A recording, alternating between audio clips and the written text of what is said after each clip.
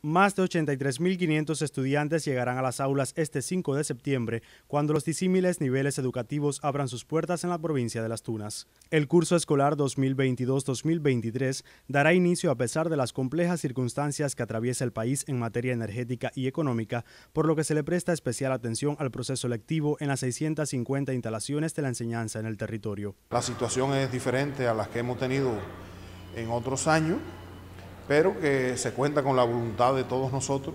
Eh, tenemos los recursos humanos eh, eh, necesarios para, para iniciar y bueno, se trabaja en todo lo que tiene que ver con el aseguramiento de la base material de estudio, la base material de, de vida. sabemos la población espera la noticia de la venta del uniforme. nosotros hemos hecho una evaluación sistemática con los compañeros de Melisa que están confeccionándolo. Hay un apoyo de un grupo importante de provincias del país, porque bueno, acá en Las Tunas es donde se va a iniciar curso escolar, el resto va a concluir en noviembre con el mismo uniforme que tenía el resto de las provincias del país. Y bueno, ellos nos están planteando que el viernes está listo la confección de los uniformes para los grados iniciales, en este caso sería el preescolar, la primera infancia, en el caso de la primaria, el quinto grado, y el séptimo grado en la secundaria básica, así como el año inicial de preuniversitario, politécnico y la formación de, profesores. Eh, pensamos que a la altura de finales de la semana que viene los compañeros de comercio estén en condiciones ya de, pues ya algunos municipios está la distribución de este uniforme.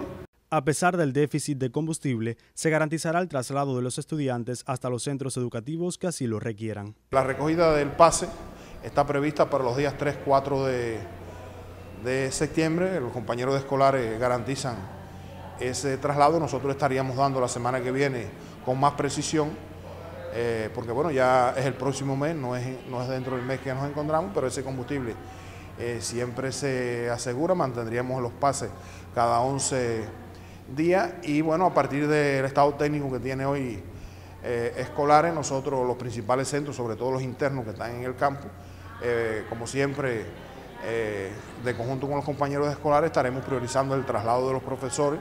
Algunas de las limitaciones en el sector educacional manifestadas por las autoridades políticas y gubernamentales resultan el poco financiamiento para el proceso de restauración y mantenimiento de obras y equipos de la base material de estudio y de vida, así como la necesidad de transporte en la EIDE y la Escuela Provincial de Arte. Sin embargo, otros factores como la cobertura del personal docente en la enseñanza general se encuentran en condiciones satisfactorias que permitirán el buen desempeño de las actividades selectivas. El venidero 5 de septiembre Las Tunas volverá a llenar de colores las aulas, convirtiendo así a la provincia en la única en comenzar el nuevo calendario docente. Leo Arias Tamayo, LTV Noticias.